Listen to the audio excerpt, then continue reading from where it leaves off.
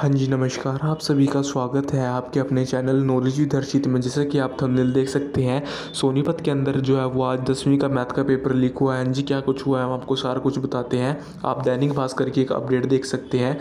सोनीपत में दसवीं का गणित का पेपर आउट, आहुलाना परीक्षा केंद्र पर तीन छात्र पकड़े गए।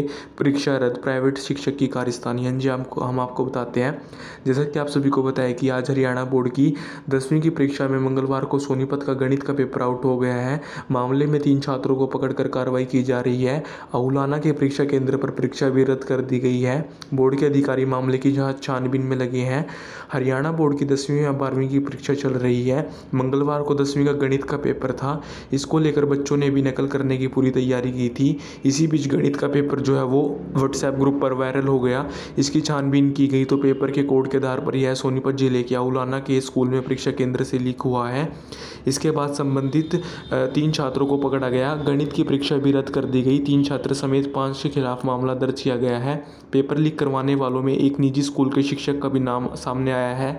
पुलिस और शिक्षा बोर्ड के अधिकारी मामले की जाँच कर रहे हैं। तो हम आपको बता देते हैं, आज दसवीं का मैथ का पेपर जो है वो अहुलाना परीक्षा केंद्र पर लीक हुआ है और वहाँ की परीक्षा जो है वो कैंसिल कर दी गई है और कहीं की भी जो है वो हरियाणा बोर्ड ने एग्ज़ाम कैंसिल नहीं किया है परीक्षा।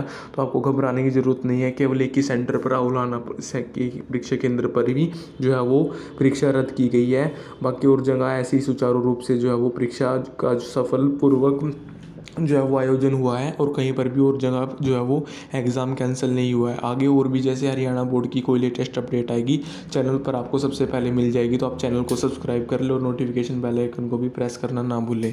धन्यवाद।